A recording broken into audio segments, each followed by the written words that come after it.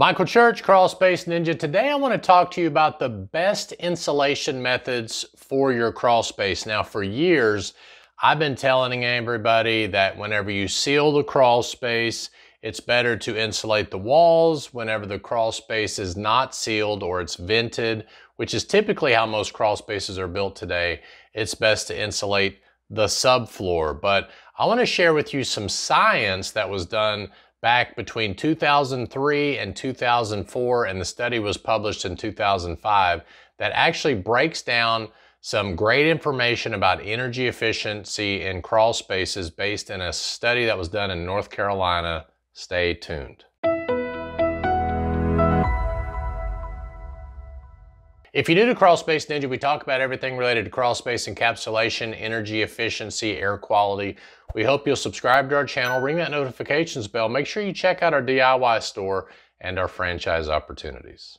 As I mentioned, this research was done by the North Carolina Advanced Energy Corporation. I actually reached out to them to try to get them to be a guest on our YouTube channel, and they declined because they uh, wanted to be neutral in the information, but they did uh, indicate that I could share that information with our viewers. So I wanted to bring this to your attention. Research was over a two-year period. From the best I could tell, it was between 2003, 2004, and then the published uh, study was done in June 22nd of 05. It was actually sponsored by the U.S. Department of Energy, and I'm going to put a link, a direct link to the uh, to the web page so you can check it out uh, for yourself and read all the way through it. It's it's a lot of pages. Like the the main part I'm going to be talking about is on page 60 um, coming up. So what was the study designed for? This study compared the performance of crawl of closed crawl spaces which had sealed foundation wall vents, sealed polyethylene film liner, and various insulation and drying strategies to traditional wall vented crawl spaces with perimeter wall vents and polyethylene film covering 100% of the ground surfaces. So basically, what they're saying is they're comparing an open vented crawl space to a sealed crawl space with different types of uh, insulation to see which one performed better over a two-year period. Some of the materials they used was a class one vapor retarder. I did not see uh, where they indicated how thick the liner was. It was probably at least a six mil. Um, and in the closed crawl spaces, it did mention that the liners were sealed, okay? Now keep in mind that a vented crawl space does not require you to seal the liner to itself. It could be just loose laid vapor barrier, while a closed crawl space does require the liner to be sealed in most building code applications. Um, the subfloor insulation in both sealed and non-sealed crawl space groups were R19 subfloor insulation. Again, I don't think they said what kind, probably fiberglass. Uh, and they did use an R13 two-inch foam wall insulation. Today, the standard is an R10 uh, in most cases. It's very difficult to find an R13, uh, but it was a two-inch foam. Our foam that we use is a two-inch. It's actually two and a quarter inch because of how they manufactured it, and it's a R10 foam uh, R value. So anyway, just wanted to share that information up front. So what was studied? The study was conducted at 12 owner-occupied homes, all electric, single-family, detached houses with the same floor plan located on one cul-de-sac in the southeast United States. And I do know that it was done in North Carolina, not sure exactly what area of North Carolina. As I mentioned, if you want to read the information for yourself on that link below, it's on page 60, section 6.2. Uh, they studied the electrical energy consumption data. Now, this is an interesting quote. Uh, we had been advised when we were beginning this study that we should not expect to measure any space conditioning energy savings during the summer season. So I don't know who advised them of that, but they weren't uh, too keen on or didn't feel like they were going to see a whole lot of energy savings in the summer. However, when we analyzed the utility billing records, we realized that there could be notable energy savings. So they wanted to uh, test the energy savings or potential energy savings in the summer, but I guess they were advised to only focus on the winter. Okay, so they decided to focus on both, which I'm glad they did because it shows some very interesting data. So as we can see on figure 19, this, just so you know, there were three study groups and this was one house in each of the study groups. Okay, so as you can see, they focused on a vented crawl space with R19 subfloor insulation in this study group, closed crawl space with a sealed liner and R19 subfloor insulation in this group, and then a closed crawl space with a sealed liner and two inch foam insulation in this group. Now, this is very, very interesting. All right, so look at some of these uh, some of these uh, charts. So the vented crawl space is this one right here uh, with with the dots. The the sealed the closed crawl space is here, and then uh, with the uh, subfloor, and then the closed crawl space with the wall insulation is here. So the dark one is the wall insulation, the white one is the subfloor insulation, and these two are sealed. So in June uh, of 03, the most energy, uh, let's just look at the vented first. The energy was always used more in a vented crawl space. Now, take keep in mind that in North Carolina, just like in Tennessee, September and October tend to be non-heating, non-cooling months, okay? So depending on how mild uh, the September and even the October was, uh, they could have not used much electricity to heat and cool the home. So that's why you're probably seeing uh, pretty similar uh, across the board here. And then when we get into November, typically it starts to get a little cooler. And then obviously in January is when they use the most energy to heat uh, the home.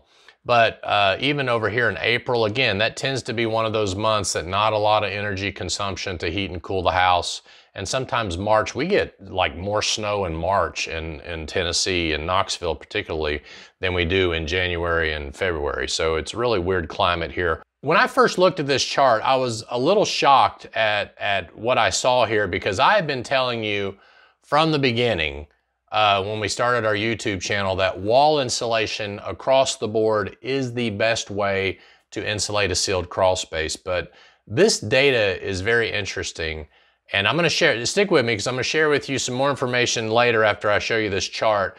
But look, look right here. Again, this shows energy consumption. So obviously in the summer months, energy consumption with subfloor insulation was much higher than wall insulation.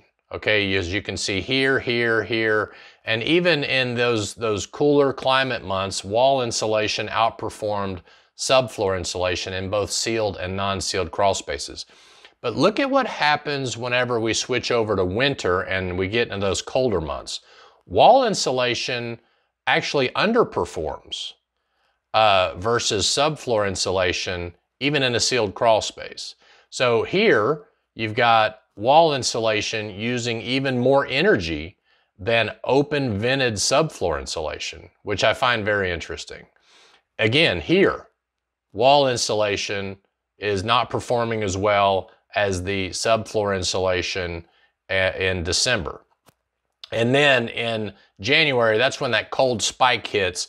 I assume we're getting in really cold temperatures because as you can see that outside, what, what's, what's showing here is that outside cold air is rushing into the crawl space most likely and causing that subfloor insulation to not be that energy efficient in the vented crawl space but in the, in the sealed or non-vented crawl space, that subfloor insulation again is outperforming the wall insulation. And then again in February, and then in March, it, it, it starts to, to trickle down a little bit.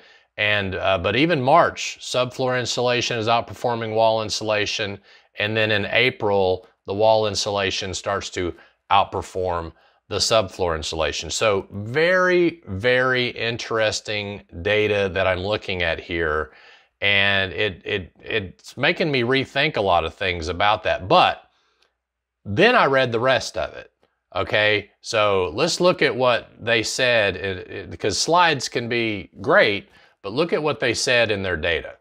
All right, so for a sealed crawl space with subfloor insulation, for the 12 months analyzed, the floor insulated closed crawl space houses used an average of 15% less energy for space conditioning than the control houses, which represented a savings of approximately $87, 870 kilowatt hours per year for each household. So the, the cooling season of the sealed crawl space with floor insulation saved 21%. The heating season saved around 11%. Okay, so that's some pretty good information there, all right? But look, look, at, look at this next slide. In the sealed with wall insulation, the wall insulation closed and sealed an average and had a savings of around 18% less energy than the controlled houses over the same 12 uh, month period, which represents a savings of approximately 1,025 kilowatt hours or $103 per year. So even though in that chart, it showed that, you know, the subfloor insulation in the winter was outperforming the wall insulation, the average savings across the year, the wall insulation still saved more than the subfloor insulation. Okay, so that's very interesting. There was an average savings of only 2% heating savings in the winter with the wall insulation versus an 11% uh, savings eh, with the subfloor insulation, but a 21% savings with subfloor insulation in the summer versus a 36% savings in the winter. So look at this next slide. This is also posted uh, by Advanced Energy uh, for their savings. So right here, we've got the closed uh, sealed crawl space with R19 and the, the sealed crawl space uh, with wall insulation R13. Look right here in the winter, December into February, they actually saw a, a uh, negative result with wall insulation. It, it actually was colder or this house performed worse than the previous year uh, when it was sealed up, the best I could tell. There's a 14 point difference here between subfloor insulation and wall insulation, but all of the rest of the seasons, the wall insulation outperformed the cold weather uh, versus subfloor insulation. So on average, you still saw a better savings with wall insulation versus subfloor insulation in a sealed crawl space. So this is what I concluded from this study. Again, North Carolina is a fairly mild climate. It does get cold there, but nothing like Minnesota or up in, you know, New England or in the Midwest or different places like that. So my conclusion is that homes built in warmer climates fare better when the crawl space is sealed with wall insulation, but performs worse in winter months with that same setup versus homes built in colder climates may fare better with subfloor insulation, not wall insulation, whenever the crawl space is sealed, but will perform worse in summer months.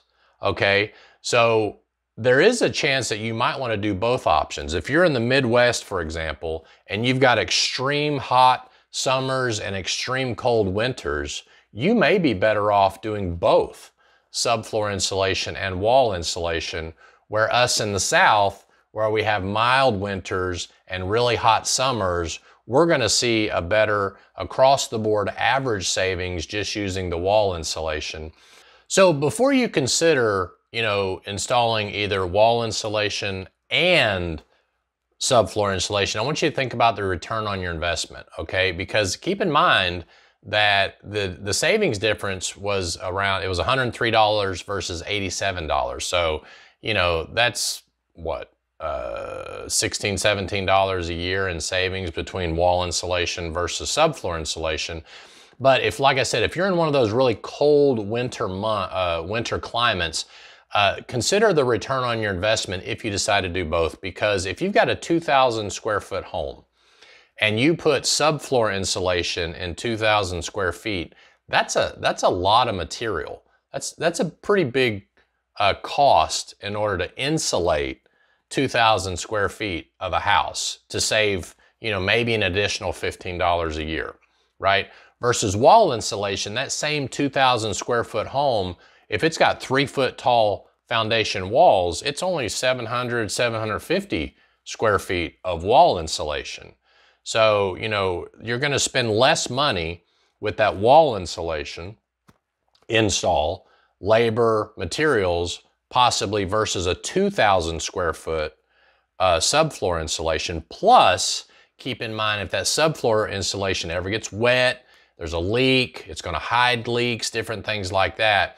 So even after going through this study, I'm still convinced that wall insulation is the best method, even possibly in a very cold climate.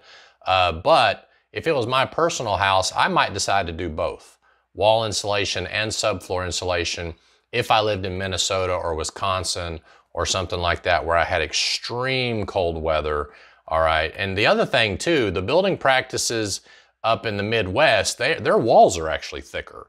So in North Carolina, you know, we have four inch block wall thickness, right? Typically it's about four inches where, you know, from what I understand, talking to Brian and some of those guys lived in Minnesota, they got six inch block walls. So adding R10 on a six inch wall is going to be more energy efficient than adding R10 on a four inch wall. So anyway, just some of my thoughts there. The, obviously the least energy efficient of all of them across the board is going to be the, the open crawl space.